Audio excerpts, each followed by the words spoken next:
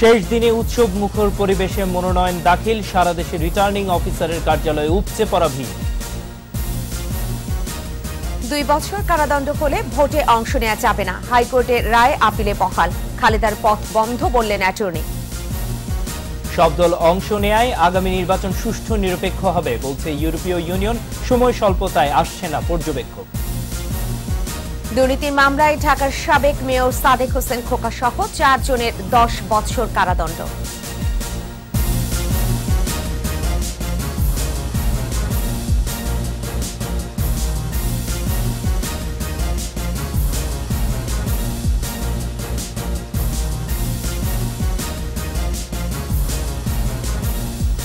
শুনছিলেন first security Islami bank limited সংবাদ শিরোনাম। আমন্ত্রণ জানাচ্ছি সন্ধ্যা সাতটার একুশের সংবাদে। আপনাদের সাথে আছে আমি তানভীর এলিন। এবং আমি ফেরদৌসি আহমেদ। এছাড়াও সংবাদে আরও থাকছে। জীব বৈচিত্র্যের অপূর্ব সমারোহ ফাওয়াল জাতীয় উদ্যান। প্রতিদিনই ভিড় করছেন অসংখ্য দর্শনার্থীরা।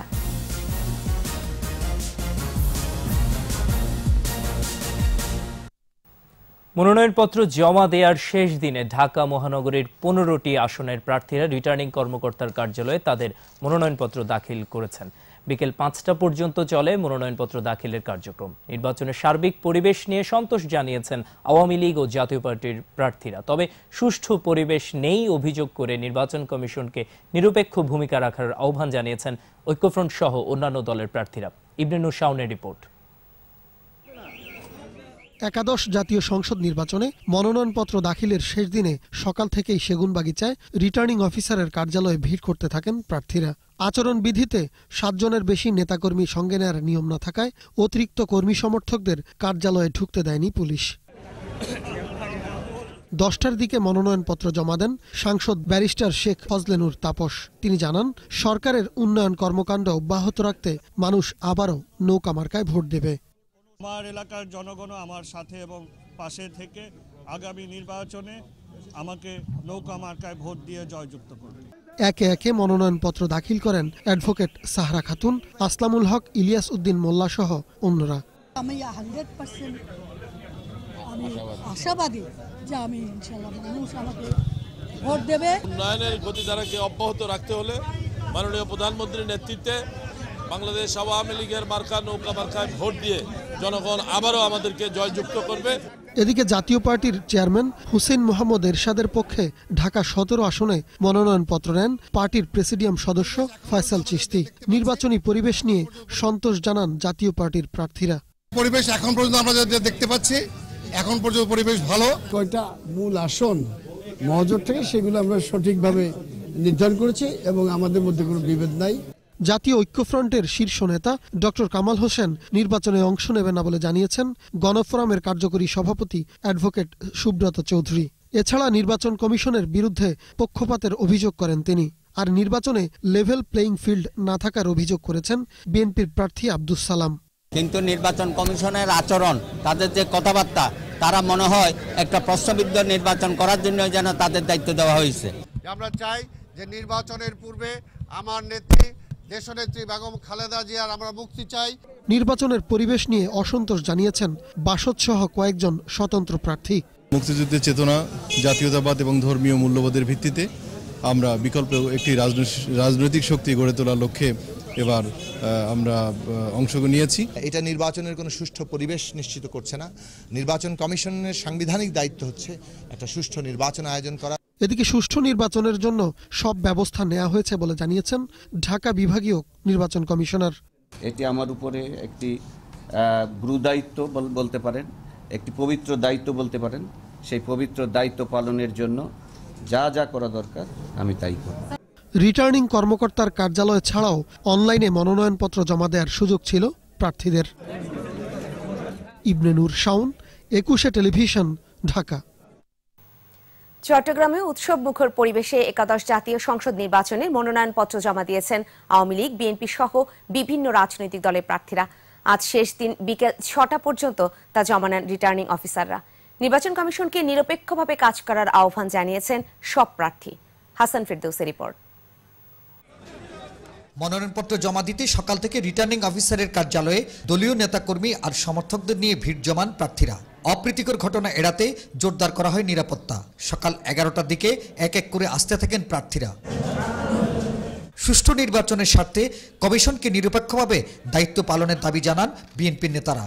তারা অভিযোগ করেন, সরকার নির্বাচনকে প্রভাবিত করতে ইসি ও সরকারি কর্মকর্তাদের ব্যবহার করছে। একটি গণতান্ত্রিক নির্বাচনের মাধ্যমে ভবিষ্যতে যাতে এদেশের মানুষ গণতন্ত্র প্রতিষ্ঠায়, গণতন্ত্র রক্ষায় এগিয়ে যেতে পারে তার ব্যবস্থা গ্রহণ করুক। নির্বাচন কমিশন এবং সরকারি কর্মকর্তাদের ব্যবহার করে জনগণকে বাইরে রেখে ক্ষমতা যাওয়ার যে প্রক্রিয়া চলছে এটা জনগণের কাছে স্পষ্ট হয়ে গেছে ব্যাপারটা।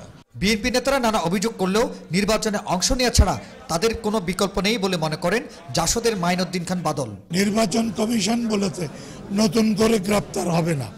তো এত কিছুর পরে অভিযোগ কি করবেন আমি জানি না।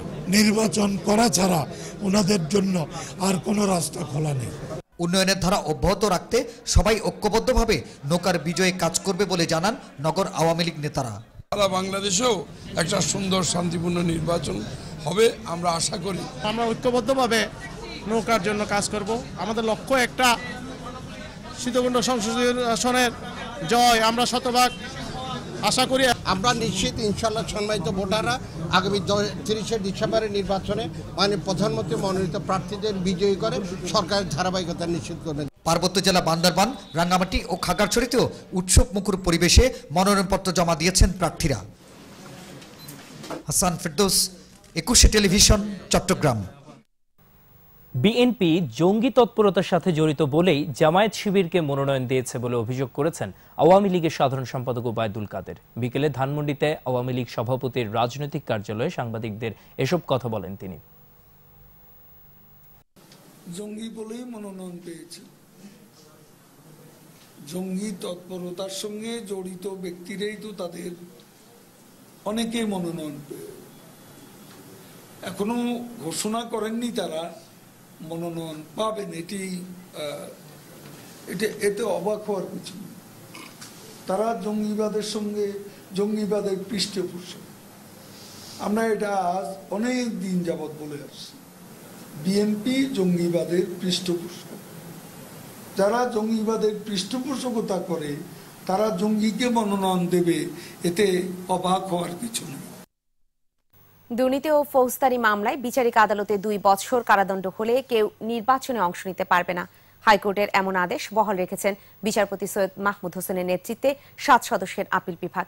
এর ফলে বেগম খালেদা জিয়া সহ দণ্ডপ্রাপ্তদের নির্বাচনে অংশ নেয়ার সব আইনি প্রক্রিয়া বন্ধ হয়ে গেল বলে জানান অ্যাটর্নি জেনারেল মাহবুবে আলম।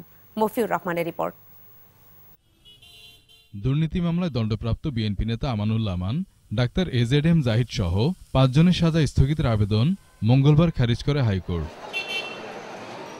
এরপরে ডাক্তার জাহিদ হাইকোর্টের আদেশের বিরুদ্ধে আপিল করেন। শুনানি শেষে বুধবার আপিল বিভাগ নো অর্ডার দিয়ে হাইকোর্টের আদেশ বহাল রাখেন। সর্বোচ্চ আদালতের এই আদেশের ফলে দুর্নীতি দায়ে দুই বছর কিংবা তার বেশি দণ্ডপ্রাপ্ত রাজনীতিবিদরা নির্বাচনে অংশ নিতে পারবে না বলে জানান দুদকের আইনজীবী। হাইকোর্ট ডিভিশন একটি আদেশ দিয়েছেন। সে আদেশে বলেছেন ফৌজদারি আপিল পেন্ডিং থাকলেও যারা সাজাপ্রাপ্ত ওনারা আপিল করতে ওনারা ইলেকশন করতে পারবেন না ওনাদের সেন্টেন্স সাসপেন্ড হবে না। সংবিধানের ছেষট্টি দুইয়ের ঘ ধারার আলোকে। কাজেই যারা দণ্ডপ্রাপ্ত তাদের জন্য ইনডাইরেক্টলি হলো এই রায় বাধ্যকর। তবে নির্বাচনে কে যেতে পারবে কি পারবে না সেটা রিটার্নিং কর্মকর্তা সিদ্ধান্ত নেবে বলে মন্তব্য করেন ডাক্তার জাহিদের আইনজীবী। নির্বাচনে উনি যেতে পারবেন কি পারবেন না এটা রিটার্নিং অফিসারের jurisdiction returning officer will decide given fact under the given facts and circumstances of the cases আর অ্যাটর্নি জেনারেল বলেন কোনো ব্যক্তি দুই বছরের অধিক সাজা ভোগ করে খালাস পেলে মুক্তি লাভের পাঁচ বছর পর নির্বাচনে অংশ নিতে পারবেন। নির্বাচন কমিশনও সংবিধান মানতে বাধ্য। আর সে কারণেই বেগম জিয়া নির্বাচনে অংশ নিতে আইনি দরজা খোলা নেই বলেও জানান অ্যাটর্নি জেনারেল নৈতিক স্খলনজনিত কারণে অনন্য যদি দুই বৎসরও কারোর সাজা হয় তিনি নির্বাচন করতে পারবেন না। এটা সবার জন্য প্রযোজ্য। সেটা খালেদা জিয়া হোক বা সাধারণ একজন নির্বাচন প্রার্থী হোক একই অবস্থা হবে। দুর্যোগ ব্যবস্থাপনা ও ত্রাণমন্ত্রী মোফাজুল হোসেন চৌধুরী মায়া ভোটে অংশ নিতে পারবে কিনা এমন প্রশ্নের জবাবে বলেন সবার জন্য একই আইন প্রযোজ্য। হ্যাঁ সবার ক্ষেত্রেই তাই হবে। মফিউর রহমান একুশে টেলিভিশন ঢাকা। সব দল অংশ নেয় নির্বাচন সুষ্ঠু হওয়ার আশা করছে ইউরোপীয় ইউনিয়ন। তবে সময় স্বল্পতার কারণে এবার পর্যবেক্ষক পাঠাতে পারবে না ইউরোপীয় দেশগুলোর জোট। নির্বাচন কমিশনের সাথে বৈঠক শেষে ইউ রাষ্ট্রদূত রেঞ্জ জে তেরিঙ্ক জানান, বাংলাদেশে নির্বাচনকালীন পরিস্থিতির দিকে নজর রাখবেন তারা। স্মৃতিমণ্ডলের রিপোর্টে বিস্তারিত জানাচ্ছেন মাহমুদ হাসান। দুপুরে নির্বাচন কমিশন কার্যালয়ে ইউরোপীয় ইউনিয়নের ইলেকশন এক্সপার্ট মিশনের প্রধান ডেভিড ওয়ার্ডের নেতৃত্বে চার সদস্যের প্রতিনিধি দলের সাথে বৈঠকে বসে কমিশন। প্রধান নির্বাচন কমিশনারের সভাপতিত্বে চার কমিশনার সহ সচিব বৈঠকে উপস্থিত ছিলেন। পরে বৈঠকের বিষয়ে সাংবাদিকদের সাথে কথা বলেন ইইউর রাষ্ট্রদূত রেন্সিয়ে তেরিঙ্কো। বলেন, পর্যবেক্ষক পাঠাতে হলে ছয় মাস আগে থেকে প্রস্তুতি রাখতে হয়। প্রস্তুতি না থাকায় এই নির্বাচনে ইইউ কোনো পর্যবেক্ষক পাঠাবে না। তবে দুইজন নির্বাচন বিশেষজ্ঞ এরই মধ্যে বাংলাদেশে অবস্থান করছেন। তারা নির্বাচনের আগের পরিবেশ পর্যবেক্ষণ করবেন। Very good meeting.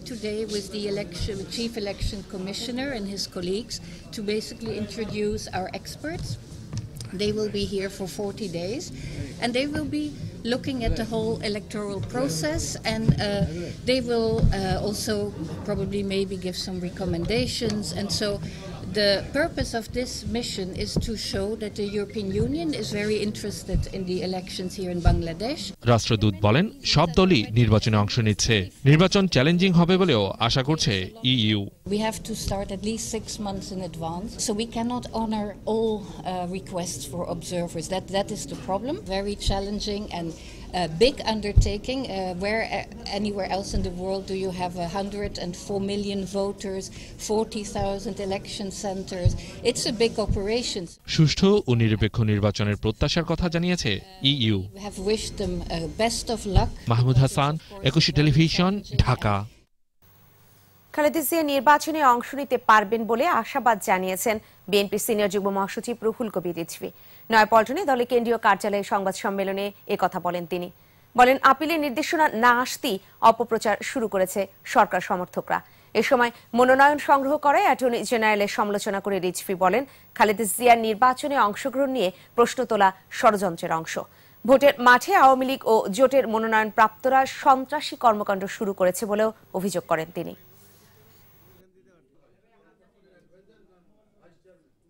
সাবজুডিস বিষয়ে নির্দিষ্ট এবং স্পষ্ট বক্তব্য রেখে তিনি সংবিধান ও আদালতের অবমাননা করেছেন।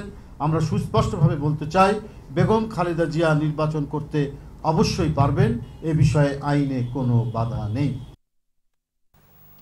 দুর্নীতির মামলায় ঢাকার সাবেক মেয়র ও বিএনপি নেতা সাদেক হোসেন খোকা সহ চারজনকে দশ বছর করে কারাদণ্ড দেওয়া হয়েছে। একই সঙ্গে তাদের প্রত্যেককে বিশ লাখ টাকা করে জরিমানাও করেছেন আদালত। আজ বুধবার ঢাকার বিভাগীয় বিশেষ জজ আদালতের বিচারক মিজানুর রহমান খান এই রায় দেন। দণ্ডিত অপর আসামিরা হলেন বনানীর ঢাকা সিটি কর্পোরেশনের সুপারমার্কেট দোকান মালিক সমিতির সভাপতি আব্দুল বাতেন, সাধারণ সম্পাদক মাহমুদ হাসান আজাদ ও পার্কিং স্থানের ব্যবস্থাপক A H M Tarek. Sadek Hossain Khoka পলাতক, অপর তিন আসামি জামিনে থাকলেও আজ তারা আদালতে হাজির হননি। তাদের বিরুদ্ধে গ্রেপ্তারি পরোয়ানা জারি করেছেন আদালত।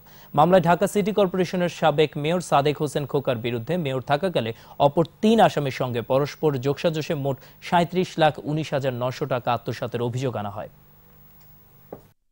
এ পর্যায়ে নিচ্ছি ইসলামী ব্যাংক বিরতি। যখন ফিরবো তখন অন্যান্য খবরের সঙ্গে আরও যা থাকবে। কুমিল্লায় গাড়ি পুরানো মামলায় হাইকোর্টে খালেদার জামিন মঞ্জুর। অগ্নিকাণ্ডের ঘটনায় যমুনা সার কারখানায় উৎপাদন বন্ধ। ছয় সদস্যের কমিটি গঠন। আবার আমন্ত্রণ সন্ধ্যা সাতটার একুশের সঙ্গে উৎসবমুখর পরিবেশে সারা দেশে মনোনয়নপত্র জমা দিয়েছেন প্রার্থীরা। সকাল থেকেই কর্মী সমর্থকদের নিয়ে প্রার্থীরা বিভাগীয় কমিশনার ও রিটার্নিং কর্মকর্তার কার্যালয়ে যান। বিকেল পাঁচটা পর্যন্ত রিটার্নিং ও সহকারী রিটার্নিং কর্মকর্তার কাছে মনোনয়নপত্র জমা দেন তারা। প্রতিনিধিদের সহায়তায় মিজানুর রহমানের রিপোর্ট। দর্শক, রিপোর্টটি প্রক্রিয়াধীন থাকাতে আমরা একটু অপেক্ষা করছি। মুন্সীগঞ্জের টঙ্গিবাড়িতে বিএনপি মনোনীত প্রার্থী মিজানুর রহমান সিনহার মনোনয়নপত্র জমা দানকে কেন্দ্র করে দুপক্ষের সংঘর্ষে ককটেল বিস্ফোরণ ও গাড়ি ভাঙচুরের ঘটনা ঘটেছে। পুলিশ ও প্রত্যক্ষদর্শীরা জানায়, দুপুরে মিজানুর রহমান সিনহা দলের মনোনীত প্রার্থী হিসেবে টঙ্গিবাড়ি রিটার্নিং কর্মকর্তার কাছে মনোনয়নপত্র জমা দিতে আসেন। তাকে লক্ষ্য করে রিপন মল্লিক সমর্থকরা ইট পাটকেল নিক্ষেপ করলে সংঘর্ষ বাধে। এ সময় ককটেল বিস্ফোরণ ও গাড়ি ভাঙচুর করা হয়। উভয় পক্ষে আহত হয় দশ জন। ঘটনাস্থল থেকে পনেরো জনকে আটক করেছে পুলিশ।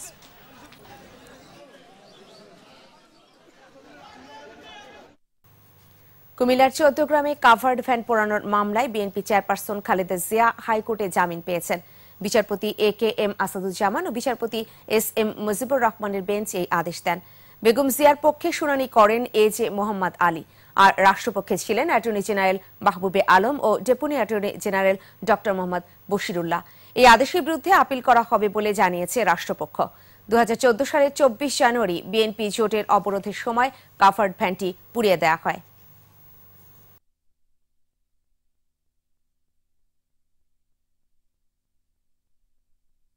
জাতির জনক বঙ্গবন্ধু শেখ মুজিবুর রহমানের জীবন ভিত্তিক গ্রাফিক্স নোভেল মুজিব জাপানি ভাষায় প্রকাশিত হয়েছে। সোমবার সন্ধ্যায় টোকিওর বাংলাদেশ দূতাবাসে বঙ্গবন্ধু মিলনায়তনে এর মোড়ক উন্মোচন করা হয়। গ্রাফিক্স নোভেল মুজিব জাপানি ভাষায় অনুবাদ ও প্রকাশ করেছে গবেষণা প্রতিষ্ঠান centre for research and information CRI. অনুষ্ঠানে প্রধান অতিথি ছিলেন জাপানের প্রধানমন্ত্রী শ্রী আকিয়ে আবে। গেস্ট অফ অনার ছিলেন বঙ্গবন্ধু কন্যা শেখ রেহানা ও বঙ্গবন্ধুর দৌহিত্র রিদওয়ান মুজিব সিদ্দিক। প্রধান অতিথির বক্তব্যে আকিয়ে আবে বলেন, এই নোভেলের মাধ্যমে জাপানের শিশু কিশোররা বঙ্গবন্ধু সম্পর্কে জানতে পারবে। দর্শক, যেমনটা আমরা বলছিলাম যে উৎসব মুখের পরিবেশে সারা দেশে মনোনয়নপত্র জমা দিয়েছেন প্রার্থীরা। তো রিপোর্টটি আমাদের হাতে এসে পৌঁছেছে। বিজানুর রহমানের রিপোর্টটি এখন আপনাদের সামনে আমরা প্রচার করছি।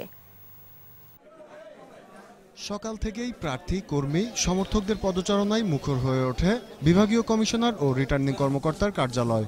কর্মী সমর্থকদের নিয়ে প্রার্থীরা যান মনোনয়নপত্র জমা দিতে।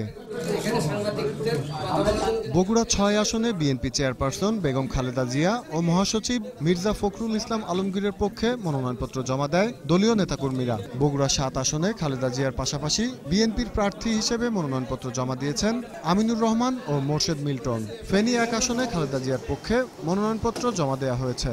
এছাড়া বিএনপির প্রার্থী হিসেবে মনোনয়নপত্র জমা দিয়েছেন রফিকুল আলম মজনু এবং নূর আহমদ মজুমদার। রংপুর তিন আসনে জাতীয় পার্টির চেয়ারম্যান এইচ এম এরশাদের পক্ষে মনোনয়নপত্র দাখিল করা হয়েছে। দুপুর সাড়ে বারোটার দিকে স্থানীয় সরকার প্রতিমন্ত্রী ও জেলা জাতীয় পার্টির সভাপতি মশিয়ার রহমান রাঙ্গা এরশাদের পক্ষে রিটার্নিং কর্মকর্তার কাছে মনোনয়নপত্র জমা দেন। গোপালগঞ্জ দুই আসনে শেখ ফজলুল করিম সেলিমের পক্ষে জেলা রিটার্নিং অফিসারের কাছে মনোনয়নপত্র জমা দেয়া হয়। এর আগে তিনি নেতাকর্মীদের সাথে নিয়ে জাতির পিতা বঙ্গবন্ধু শেখ মুজিবুর রহমানের সমাধিতে শ্রদ্ধা জানান। ময়মনসিংহে উৎসবমুখর পরিবেশে মনোনয়নপত্র জমা দেয় প্রার্থীরা। চাঁদপুর চার আসনে মনোনয়নপত্র জমা দিয়েছেন আওয়ামী লীগের প্রার্থী জাতীয় প্রেস ক্লাবের সভাপতি শফিকুর রহমান। শেরপুর দুই আসনে কৃষিমন্ত্রী বেগম মতিয়া চৌধুরী মনোনয়নপত্র জমা দেন। কুষ্টিয়া তিন আসনে মনোনয়নপত্র জমা দিয়েছেন আওয়ামী লীগের যুগ্ম সাধারণ সম্পাদক মাহবুবুল আলম হানিফ। মাদারীপুর দুই আসনে মনোনয়নপত্র জমা দিয়েছেন নৌ পরিবহন মন্ত্রী শাহজাহান খান। সিরাজগঞ্জ দুই আসনে আওয়ামী লীগের প্রার্থী প্রফেসর ডাক্তার হাবিবে মিল্লাত মুন্না সিরাজগঞ্জ চারে তানভীর ইমাম মনোনয়নপত্র দাখিল করেছেন। উৎসব মুখর পরিবেশে পাবনা চারে ভূমিমন্ত্রী আওয়ামী লীগের শামসুর রহমান শরীফ ও বিএনপির হাবিবুর রহমান হাবিব মনোনয়নপত্র দাখিল করেন। খুলনায় উৎসব মুখর পরিবেশে বিভিন্ন দলের ছত্রিশ প্রার্থী মনোনয়নপত্র দাখিল করেন। নীলফামারীর চারটি আসনে মনোনয়নপত্র জমা দিয়েছেন সংস্কৃতি বিষয়ক মন্ত্রী আসাদুজ্জামান নূর সহ তেত্রিশ প্রার্থী। রাজশাহী এক আসনে জেলা আওয়ামী লীগের সভাপতি ওমর ফারুক চৌধুরী এবং সাবেক মেয়র, বিএনপির প্রার্থী মিজানুর রহমান মিনু মনোনয়নপত্র দাখিল করেন। মিজানুর রহমান, একুশে টেলিভিশন। পাকিস্তান হাইকমিশন থেকে চুরি হওয়া তিনটি সিপিইউ, দুটি ইউপিএস এবং একটি মনিটর উদ্ধার করেছে গুলশান থানা পুলিশ। দুপুরে গুলশান থানার OC S M Mushtaq Ahmed Khan সংবাদ সম্মেলনে কথা জানান। তিনি বলেন সিসিটিভির ফুটেজ দেখে ও গোপন তথ্যের ভিত্তিতে ঘটনার সাথে জড়িত ছয় জনকে বিভিন্ন স্থান থেকে আটক করে পুলিশ। চোরচক্র হাইকমিশনের দেয়ালে লাগানো এসি খুলে ভবনের ভেতরে প্রবেশ করে বলেও জানান ওসি।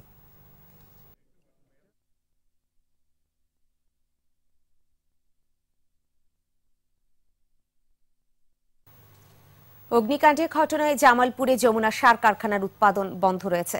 কারখানার ব্যবস্থাপনা পরিচালক মাহবুবা সুলতানা জানান, মঙ্গলবার কারখানার ইউরিয়া প্ল্যান্টের স্টার্ট আপ হিটারের পাইপ ফেটে যায়। মুহূর্তে হাইড্রোজেন গ্যাস ছড়িয়ে পড়ে পুরো এলাকায়। পরে আগুন লেগে কারখানার সব ইউনিট বন্ধ করে দেয়া হয়। প্রায় তিন ঘণ্টার চেষ্টায় আগুন নিয়ন্ত্রণে আনে ফায়ার সার্ভিস। ঘটনা তদন্তে মেরামত বিভাগের প্রধান শেখ আব্দুল হককে প্রধান করে ছয় সদস্যের কমিটি গঠন করা হয়েছে।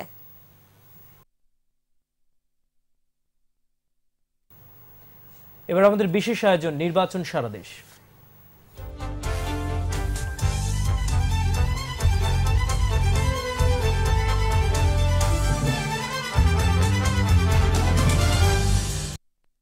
রাজশাহীতে নৌকার কাণ্ডারীদের বরণ করে নিচ্ছেন নেতাকর্মীরা। আনন্দ উৎসবের পাশাপাশি বিতরণ করা হচ্ছে মিষ্টি।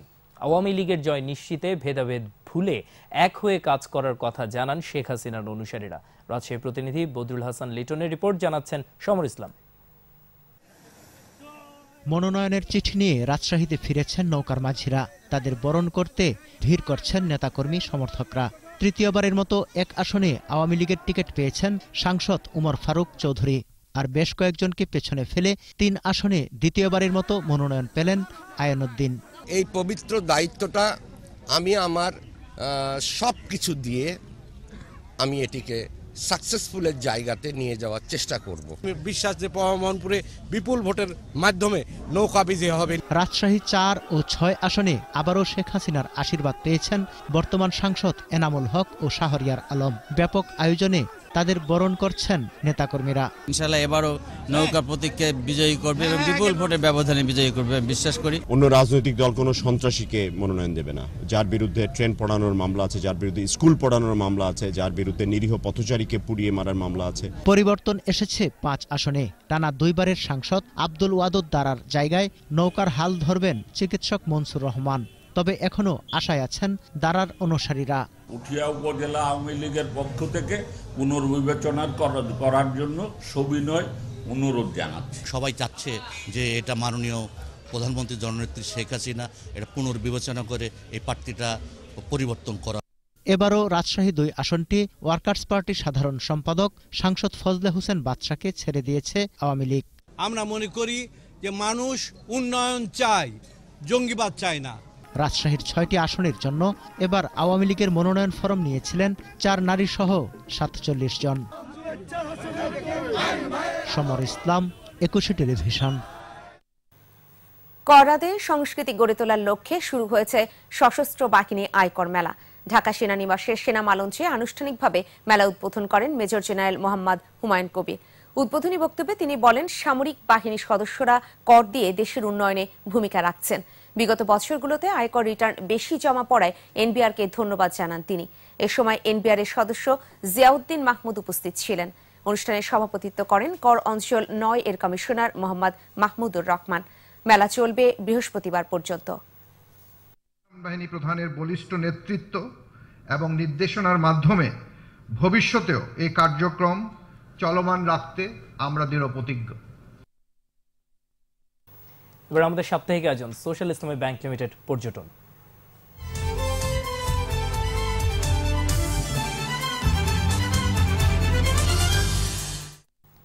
প্রাকৃতিক সৌন্দর্য আর জীববৈচিত্র্যের অপূর্ব সমারোহ গাজীপুরের ভাওয়াল জাতীয় উদ্যান। শহরের জীবনে থেকে একটু শান্তির ছোঁয়া পেতে প্রতিদিনই উদ্যানে ভিড় করেন দেশি বিদেশি অসংখ্য দর্শনার্থী। পর্যটকদের জন্য বিনোদনের ডালি সাজিয়ে রেখেছে উদ্যান কর্তৃপক্ষ। তবে নিরাপত্তা সহ যাতায়াত ব্যবস্থার আরও উন্নয়ন চান দর্শনার্থীরা। গাজীপুর প্রতিনিধি অপূর্ব রায় রিপোর্ট জানাচ্ছেন ফারজানা শ্রাবন্ত।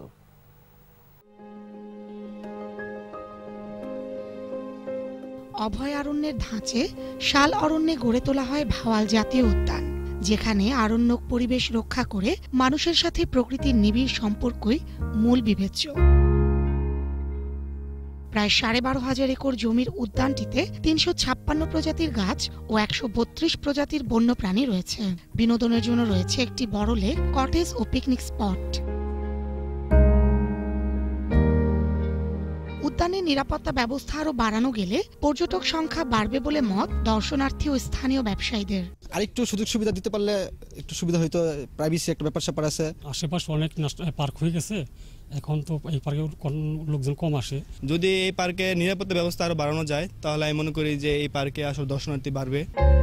উদ্যানটির জীববৈচিত্র্য ঠিক রেখে দর্শনার্থীদের আকৃষ্ট করতে বিভিন্ন উদ্যোগ নিয়েছে সংশ্লিষ্ট কর্তৃপক্ষ। আমরা পার্ক বিডের পক্ষ থেকে তথা বন বিভাগের পক্ষ থেকে নিরাপত্তার ভালো ব্যবস্থা করেছি।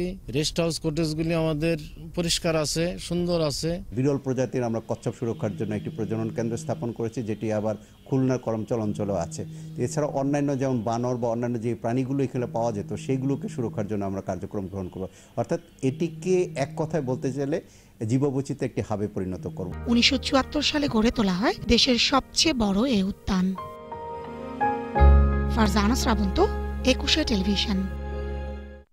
আরও একবার ইসলামী ব্যাংক বিরতি। যখন ফিরছে তখন অন্যান্য খবরের সঙ্গে আরও থাকবে। বরগুনায় গৃহবধূ হত্যা মামলায় স্বামী সহ চারজনের ফাঁসির আদেশ। ক্রিমিয়ায় আধুনিক প্রযুক্তির ক্ষেপণাস্ত্র মোতায়েন মস্কোর রাশিয়ার ওপর ইইউ নিষেধাজ্ঞা। আমন্ত্রণ আবারও দেখছিলেন সন্ধ্যা সাতটার একুশে সংবাদ। বরগুনায় গৃহবধূ হত্যা মামলায় স্বামী সহ চারজনের ফাঁসির আদেশ দিয়েছে আদালত। নারী ও শিশু নির্যাতন দমন ট্রাইব্যুনালের বিচারক মোহাম্মদ হাফিজুর রহমান এ আদেশ দেন। মৃত্যুদণ্ড প্রাপ্তরা হলেন গৃহবধূ স্বামী ইব্রাহিম তালুকদার আব্দুল সালাম শরীফ আবুল কালাম ও আব্দুর রহমান। আদালত সূত্র জানায়, তালতলি উপজেলার ইব্রাহিম দ্বিতীয় বিয়ে করায় স্ত্রী পরিবানু তার নামে তিনটি মামলা দায়ের করে। এতে ক্ষুব্ধ হয়ে দু সালের একুশ নভেম্বর ইব্রাহিম আসামিদের নিয়ে পরিকল্পিতভাবে স্ত্রীকে গলা টিপে হত্যা করে। এ ঘটনায় পরিবানুর ভাই মুসলিম আলী বাদী হয়ে থানায় মামলা করেন। আর এই সাথেই শেষ করব সন্ধ্যা সাতটার একুশে সংবাদ। তবে যাবার আগে first security Islami bank limited সংবাদ শিরোনামগুলো জানিয়ে দিব আরও একবার। শেষ দিনে উৎসব মুখর পরিবেশে মনোনয়ন দাখিল সারা দেশে রিটার্নিং অফিসারের কার্যালয়ে উপচে পড়া ভিড়। দুই বছর কারাদণ্ড হলে ভোটে অংশ নেওয়া যাবে না। হাইকোর্টের রায় আপিলে বহাল। খালেদার পথ বন্ধ বললেন অ্যাটর্নি।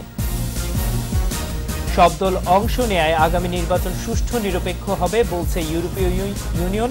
সময় স্বল্পতায় আসছে না পর্যবেক্ষক। দুর্নীতির মামলায় ঢাকার সাবেক মেয়র সাদেক হোসেন খোকা সহ চারজনের দশ বছর কারাদণ্ড।